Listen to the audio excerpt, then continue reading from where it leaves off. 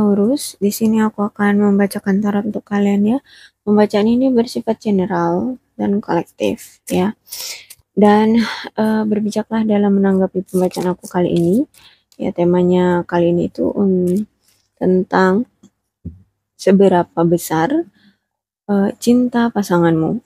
Jadi ini pembacaan untuk orang yang sudah berpasangan ya. Boleh kalian fokuskan pada pasangan kalian energinya atau orangnya seperti apa dan sebutkan namanya di dalam hati. Oke, kita mulai aja.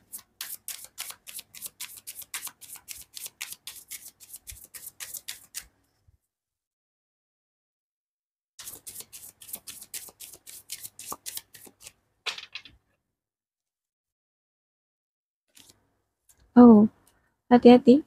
Ada red flags di hubungan kalian ada yang kekanak-kanakan di dalam hubungan kalian ini atau mungkin dia sudah memiliki anak atau kamu. Tapi ini aku ngerasa uh, ini kan energi dia ya yang aku akan tarik adalah energi pasanganku. Mungkin dia yang sudah punya anak atau mungkin dia yang kekanak-kanakan. Dan aku rasa dia kurang memberikan effort ya atau apa namanya ya action dalam hubungan ini. Ya makanya keluarnya red flag ya It is safe for your uh, it, it is safe for you to love. Oke. Okay. Uh, aku ngerasa dia di sini kayak masih juggling deh.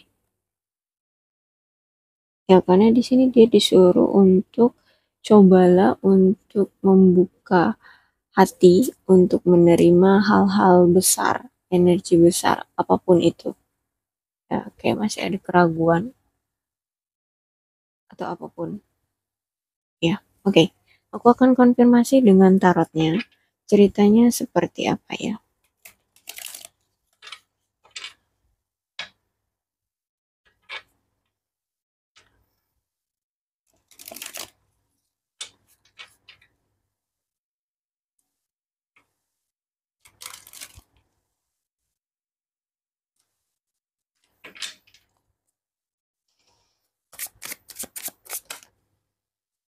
Oh, temperance.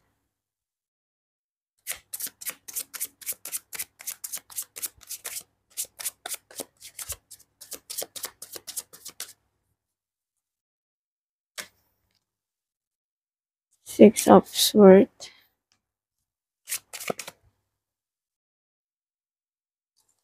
Page of Pentacle.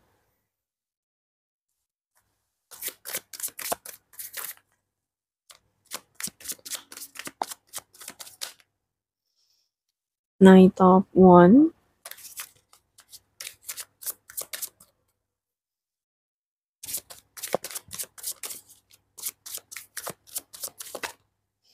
Oh, Six of Cups. Tapi aku ngerasa nih orang cukup serius deh. Tapi nanti ya kita lihat dulu. The Hermit.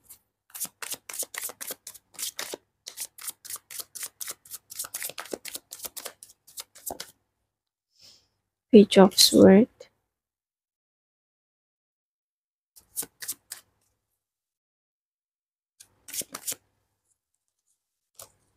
Six of One.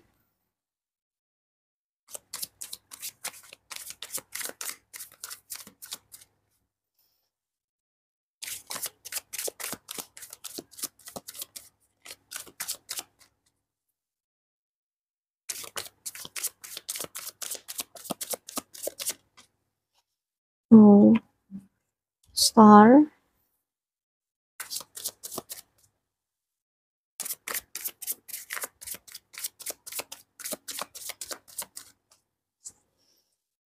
Okay. Ace of sword. Temperance, ya. Uh, mungkin di antara kalian ada yang sakit ya, atau mungkin dia di sini habis sakit dan uh, sekarang dia sudah mulai sembuh ya hmm, orangnya ini suka berhemat ya orang ini sedang berhemat mungkin ya, sedang berhemat atau memang orangnya itu sederhana. Dia pintar untuk mengelola keuangannya ya dan uh, aku lihat mungkin kalian ini berjarak ya. Uh, jarak jarak uh, punya jarak ya. Entah kalian beda pulau beda apa namanya negara. Ya.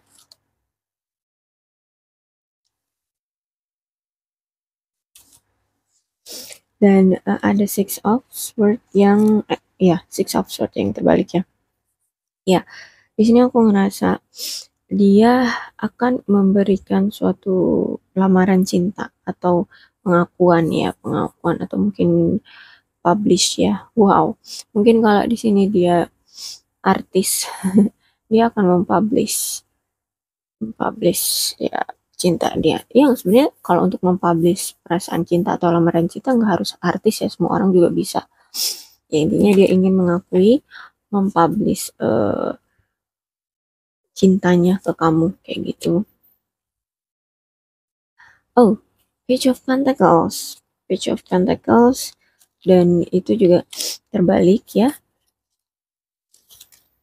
Di mana uh, orangnya memang uh, boros ya, orang yang memang boros, orang yang memang uh, suka kemewahan, suka hal-hal baru. Maksudnya itu gini, kayak misalkan ada uh, apa namanya baju keluaran baru nih, eh dia pengen ya beli gitu, padahal baju dia itu banyak di lemari uh, yang bahkan enggak selalu dia pakai. Jadi cuma num untuk numpuk untuk koleksi aja dia kayak gitu. Ya di intinya dia boros lah orangnya.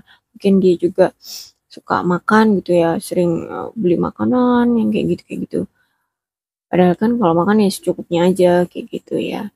Intinya dia boros ya mungkin sedang berhemat gitu mungkin ya berhemat karena menghemat uangnya untuk uh, bisa uh, modal untuk kencan dengan kamu. Ya ya intinya dia di sini siap untuk datang ke kamu. Ya hanya saja energinya ya pelan-pelan nggak nggak secepat itu. Aja pelan-pelan dan dia memang serius untuk uh, ke depannya ya dia nggak mau lagi nanti kalau dia sudah serius uh, atau berkomitmen dengan kamu itu membuatmu menangis ataupun membuatmu terluka. Dia ingin uh, buat yang apa namanya keseriusan lah ya dalam uh, memiliki hubungan. Oke, okay. The Hermit. Hanya saja di sini aku melihat dia kayak kehilangan arah aja sih, kehilangan arah kayak hmm, masih juggling ya. Makanya di sini aku tadi bilang dia masih disuruh untuk membuka energi ya membuka hatinya untuk mendapatkan energi yang uh, lebih besar gitu. Uh, uh, uh, agar dia lebih paham tentang perasaan dia gitu ya. Karena di sini masih ada the hermit. Ya dia masih kayak bingung gitu uh, kalau dia di sini seorang pria ya. Pria juga uh, harus punya apa ya keyakinan gitu ya untuk melamar seseorang kan. Uh, mungkin dari finansial dari karir kesiapan mental dia. Nah kayak gitu. Dia kayak masih belum siap banget gitu. Makanya di sini mungkin dia sadar kalau dia banyak red flagsnya atau dia masih kekanak-kanakan atau dia masih cuek kayak gitu makanya dia di sini kayak masih hmm, kalau untuk segera gitu ya, segera akan memberikan suatu komitmen serius ke kamu kayaknya nggak nggak secepat itu. Makanya di sini dia uh, datangnya itu pelan-pelan ya, karena sambil me, me, me, me, menghilangkan red flag dia mungkin ya sambil membuat dia belajar untuk dewasa dan uh, belajar untuk action menunjukkan cintanya ke kamu kayak gitu. Karena di sini aku lihat dia cukup cuek ya kamu kayak gitu. Makanya di sini sebenarnya dia sadar gitu. Mengapa aku bilang gitu? Karena di sini ada the hermit. ya dia masih apa ya juggling kayak gitu masih bingung tapi kalau dibilang dia cinta ya page of sword dia siap gitu loh siap untuk mencintai kamu. Tapi kalau untuk berkomitmen serius dia masih kayak hmm, ntar dulu deh gitu ya. Belum saatnya gitu. Uh, aku belum siap kayak gitu sih ya. Aku belum siap aja untuk saat ini kayak gitu. Mungkin nanti seiring berjalannya waktu ketika dia sudah mapan secara finansial dan red flagnya sudah hilang ya. Uh, apa namanya uh, kekan dia sifat kanak-kanakannya sudah uh, hilang gitu ya. Dan dia sudah bisa mengerti arti pentingnya kamu ya sehingganya dia bisa menunjukkan uh, effort dia gitu. Ya mungkin bisa jadi dia akan segera datang untuk uh, melamar. Tapi uh, uh, apa namanya untuk itu dia memang jalannya agak lambat. Lambat sekali. Ya aku lihat lambat energinya. Oke okay. uh, six of wands ya. Uh, ya banyak kekhawatiran ketakutan dia gitu. Untuk maju. Ya banyak karena banyak yang dia pertimbangkan banyak yang dia pertimbangkan gitu. Sampai-sampai dia itu kayak sering uh, apa nanyain nanya ke teman-temannya gitu. Gimana sih kalau misalnya pernikahan itu harus seperti apa sih? Kayak gitu. Modal menikah itu apa aja sih? Nah gitu.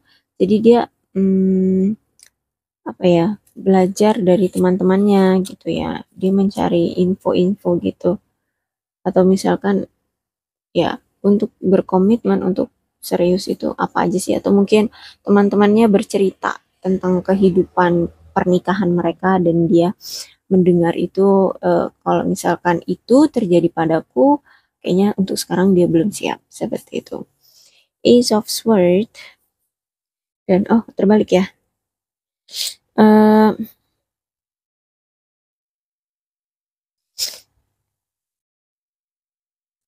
aku lihat dia akan gimana ya membuat kamu penasaran sih ya sebenarnya.